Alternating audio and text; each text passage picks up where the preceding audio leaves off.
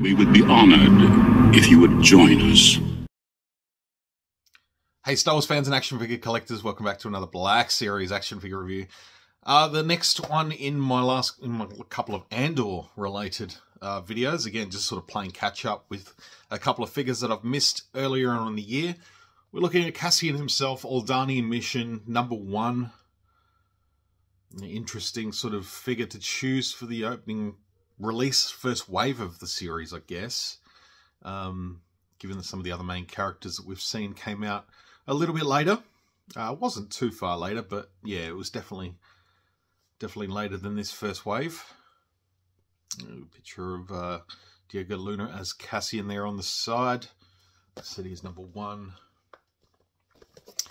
Brief little uh, bio on the back, which basically tells you about the series. It says in an era filled with danger, deception, and intrigue, Cassian Andor embarks on a path that will turn him into the rebel hero who will challenge the evil Galactic Empire. So yeah, wanted to grab this one. Decided I'm not doing Andor in three and three quarter inch. There just aren't as many offerings, and um, eventually, if the if the version of this in vintage goes a bit cheaper, I may pick it up. But for the moment, I'm happy to keep rolling with Black Series representations of Andor. So let's bust this one open and have a look. Before I start, if you could give this video a thumbs up and subscribe if you're new. This is the way. Alright folks, here is Cassian Andor from the Aldhani mission, the second sort of part of the first season of Andor. Um, accessory wise, he comes with the same blaster that came with the uh, Imperial Imperial Dude that I reviewed. Mm, thankfully, he does have a holster this time, so we can pop that in there. Once it, well, it looks like it's easier than it looks like it's easy to fit in there. There it is. Not so bad. Not too bad. So we can get straight in and take a look at the figure. Head sculpt looks pretty damn solid. It does have a little bit of that sort of that sort of sweaty sheen. Um, which you know figures now sort of getting away from that. This is probably from the time. You know, this is still I think even 2022 doesn't have a date on it. It might have been early, very early 2023. Um, before the package changes, you know, they've sort of they've tweaked a lot in the last six months in terms of paint applications and uh, yeah, this one you could do with a little bit of a Bit of a matte coat, perhaps. But otherwise, it looks pretty good.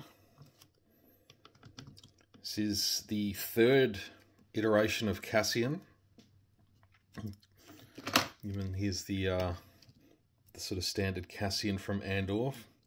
Obviously, he was released as part of a uh, exclusive pack first.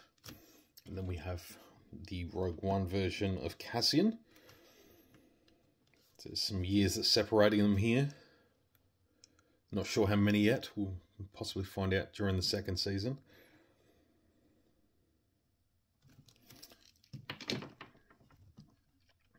But I like this look. I like the armor.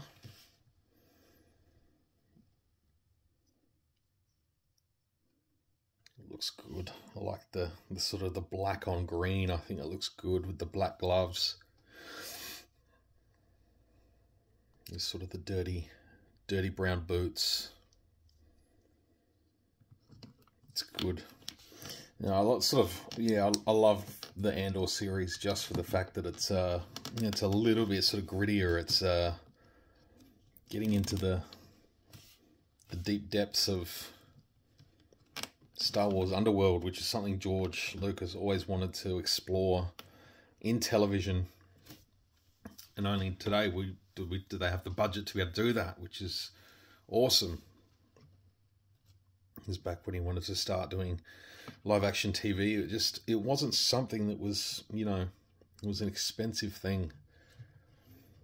Something Lucasfilm and, and stuff didn't really have the funds for. Always been a big fan of the uh, the heroes in disguise.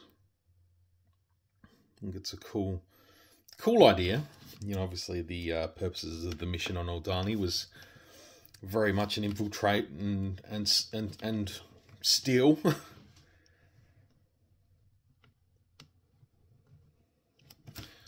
the hat doesn't come off.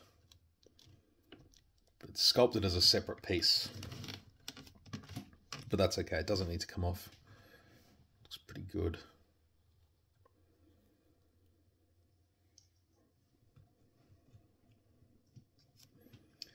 Articulation wise, he's got a double ball joint in the neck and head by the looks of things. No neck joint there. There is ball hinge in the elbows, uh, shoulders. Ball hinge in the elbows, the real elbows. A swivel in the wrist, ball hinge in the wrist as well. This one's in and out, and this one is up and down. So there's a joint in the torso there, nicely sort of hidden by the armor. Ball and sockets in the thighs swivel cut at the top of the thighs as well. Single hinge in the knee, hinges in the ankles, and that sort of rocker, rocker pivot there. Which is good. Would have liked to have seen, you know, a couple more of the troops from that episode, or from those episodes. So you can have the little, the little team of insurgents with Cassian. I think that would have been cool yeah, very nice looking figure. The sculpt is good. Paint apps are clean. Just aside from that sort of sweatiness that he has up, up on the around the beard, it's sort of not even on the face, it's just that sort of facial hair. Obviously it's sort of a, a final pass with the sort of the shading. But hey, it's not a it's not a big deal if you're that inclined to put a clear matte spray over the top of it just to uh, dull that down a little bit.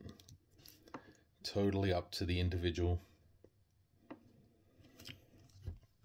But yeah, very happy to have this one and the Imperial Officer that I spoke about and did review beforehand. Nice to have these two just to round out the, the, the Andor figures we have so far. The only one I skipped on was the Shore Trooper. I uh, got a couple of Storm uh, Shore Troopers from Rogue One, so I'm, I'm quite happy to have them. If I do track down the Andor version at some point, I may grab it, but for now, I'm good. But thank you very much for watching. I do appreciate your time. Please let me know what you think of uh, Cassian here. And uh, yeah, if you missed the review on this guy, go back and check that out. Very much appreciated. And yeah, looking forward to getting these guys up on the Andor shelf. The Dark Times section of my Black Series display. So thank you for tuning in. Much appreciated. We'll see you on the next one. May the force be with you always.